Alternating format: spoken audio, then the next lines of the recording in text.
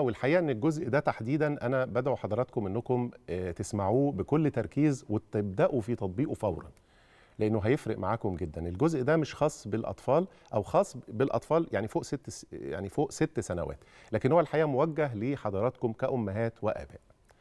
الجزء ده عن الأطعمة المسؤولة عن تحسين الحالة النفسية عند الأمهات والآباء والأطفال فوق ست سن فوق سن ست سنين. خلاص؟ أطعمة بتحسن الحالة النفسية. وطبعا أول كلامنا كده لازم نوضح لحضراتكم الموضوع ملوش علاقة لأن أنا واثق دلوقتي إن في ناس قالت أطعمة تحسن الحالة النفسية. على طول الأفكار بقى هتبقى إيه ممكن تخطر على بال كتير من حضراتكم هي إن الأطعمة دي اللي بتحسن الحالة النفسية دي أكلات بقى زي المحشي والملوخية والفتة والحاجات دي كلها. لا إحنا هنتكلم عن حاجات تانية دلوقتي خلاص؟ هي الحاجات دي بت- بتحسن الحالة النفسية بس إحنا دلوقتي هنتكلم عن حاجة ليها علاقة بالحالة النفسية وكيمياء المخ يعني. تمام؟ طيب. هنرجع بس كده نقول الحكاية دي. في مواد كيميائية معينة أساسية في التأثير في انفعالاتنا ومشاعرنا.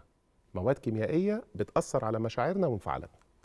المواد دي إحنا بنحصل عليها من خلال الأكل يعني الأكل اللي بناكله ده بيثير أو بيحفز إفراز هذه المواد في المخ.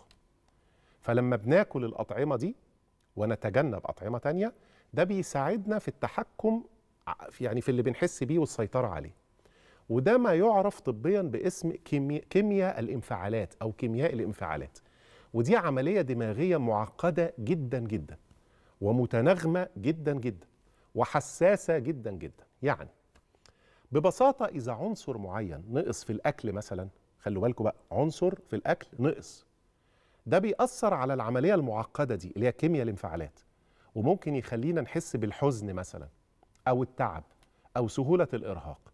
وهبدأ أمثلة مع حضراتكم حالا علشان حضراتكم تبقوا فاهمين وت- وتطبقوا بقى الحكاية. مادة السيروتونين أو السيروتونين يعني باللغة العربية كده بنقول السيروتونين وهي السيروتونين. المادة دي مادة السيروتونين دي هي المادة المسؤولة خلوا بالكم بقى مسؤولة عن إيه؟ مسؤولة عن تحسين الحالة المزاجية والتوازن الانفعالي وجودة النوم. السيروتونين بيعمل الحاجات دي. حلو. لما هيحصل نقص في المادة دي داخل الجسم فده هيخلينا نشعر بالحزن والعدوانية والقلق والأرق. طيب مادة السيروتونين دي المكون الرئيسي لها هو أحد الأحماض الأمينية اسمه تريبتوفان. وده بروتين يعني بروتين وحمض أميني. طيب موجود فين بقى التريبتوفان ده عشان السيروتونين يشتغل يشوف شغله؟ ال ال ال التريبتوفان ده موجود في الموز والعيش البلدي والمكرونة بأنواعها المختلفة والأسماك بيسموها الأسماك الزيتية يعني زي السلمون والسردين والدنيس وما إلى ذلك. موجود كمان في الحليب لبن الحليب. موجود في التمر. موجود في الفول السوداني. طيب هل السيروتونين ده اللي قلنا إنه مسؤول عن تحسين الحالة المزاجية والتوازن الانفعالي وجودة النوم بيحتاج بس التريبتوفان عشان يشتغل؟ الإجابة لأ. عشان السيروتونين ده يشتغل ويشتغل بكفاءة كبيرة بيحتاج جدا لوجود فيتامينات ب 6 وب 12 وال folic acid.